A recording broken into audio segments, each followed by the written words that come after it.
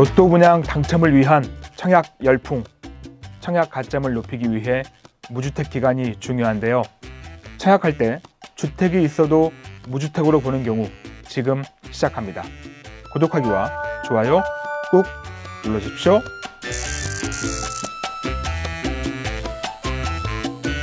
네, 안녕하세요. 박찬웅의 부동산 쇼 부자남 박찬웅입니다. 오늘은 청약할 때 주택을 가지고 있어도 주택을 소유하지 않은 것으로 보는 경우입니다. 사실 며칠 전에 지인에게 이와 관련된 질문을 받았었거든요. 그래서 다른 분들도 혹시나 궁금해 하실 것 같아서 이 영상 준비했습니다. 표를 보면서 살펴보겠습니다. 표를 보시면 청약할 때 주택 소유 여부에 대한 판정 기준은 주택 공급에 관한 규칙에 나와 있습니다. 제 53조에 나와 있는데요. 어, 조문을 한번 읽어보면 주택 소유 여부를 판단할 때 분양권 등을 갖고 있거나 주택 또는 분양권 등의 공유 지분을 소유하고 있는 경우에는 주택을 소유하고 있는 것으로 보되 다음 각 호의 어느 하나에 해당하는 경우에는 주택을 소유하지 아니한 것으로 본다라고 되어 있고요. 각 호는 1호부터 10호까지 10가지 경우가 있습니다. 그리고 뒤에 달려있는 다만하고 달려있는 단서 있죠? 이 단서는 제가 6호를 설명할 때 알려드리겠습니다. 먼저 1호 첫 번째 경우입니다. 상속으로 주택의 공유 지분을 취득한 사실이 판명되어서 사업 주체로부터 부적격자로 통보받은 날로부터 3개월 이내에 그 지분을 처분한 경우에는 주택을 소유하지 아니한 것으로 본다라고 되어 있죠. 어, 사실 이제 상속 주택 같은 경우에 형제 자매가 나누어서 공유 지분을 받죠. 근데 이게 시간이 지나면 본인이 까먹습니다. 가지고 있다는 것을. 그래서 어, 청약 신청하고 나중에 이제 통보 받으면 그때 알게 되는데 하지만 3개월 내에 처분하면 무주택으로 보니까 큰 걱정 안 하셔도 됩니다.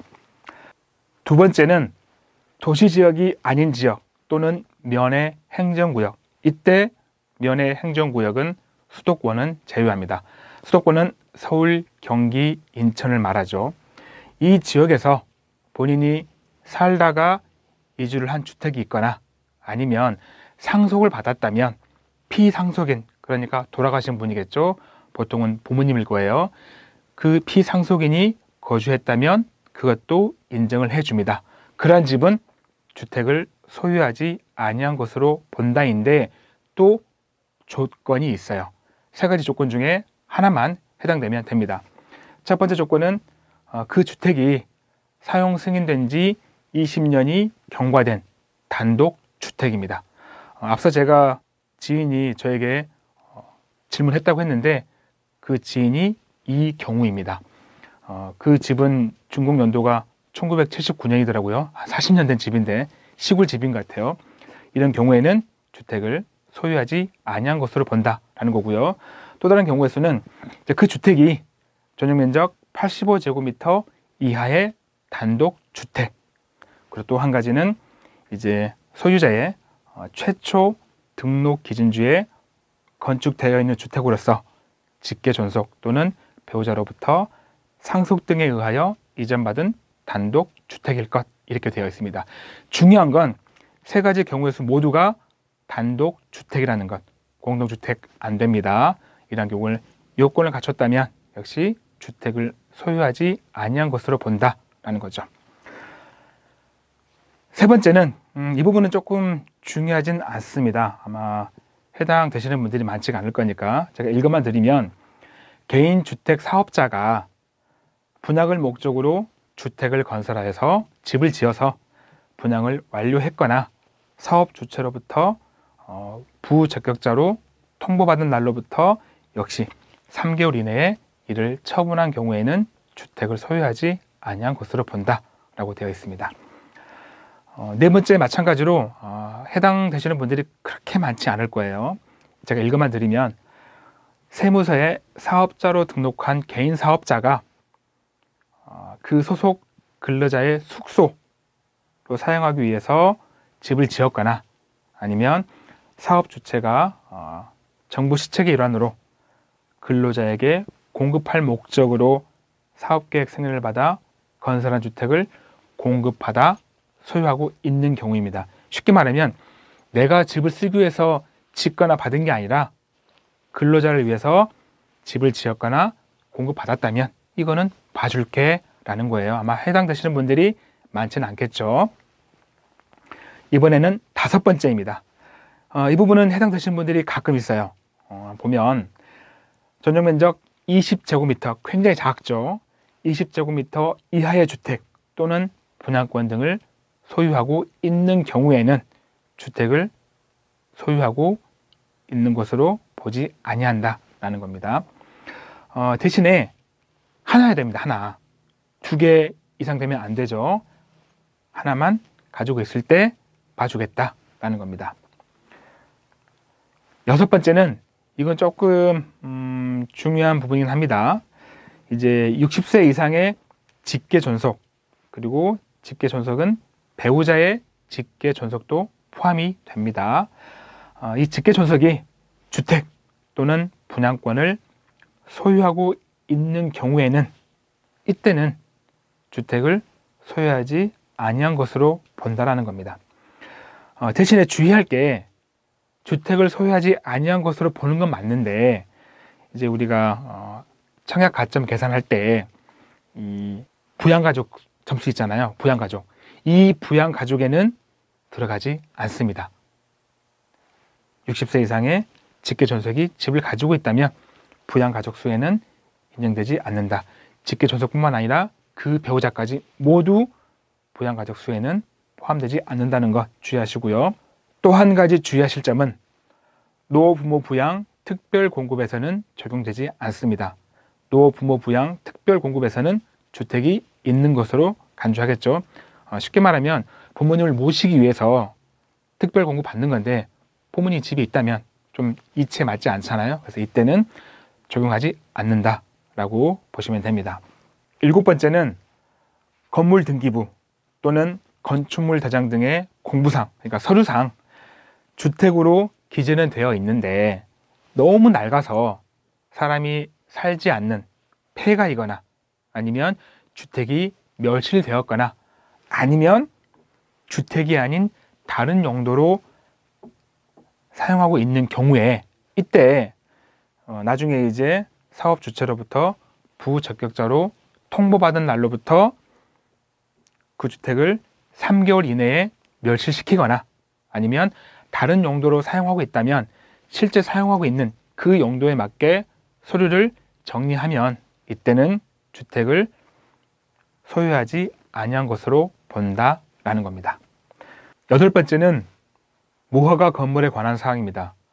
무허가 건물을 소유하고 있는 경우에는 음, 해당 건물이 건축 당시에 법령에 따른 적법한 건물임을 증명하여야 한다라고 되어 있는데 이 증명 부분은 쉽지 않겠죠.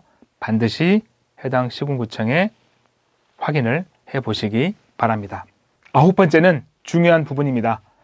소형 저가 주택 등을 1호 또는 1세대만을 소유한 세대에 속한 사람으로서 제28조에 따라 주택의 공급을 신청하는 경우라고 되어 있는데 제28조는 민영주택 일반 공급을 말합니다.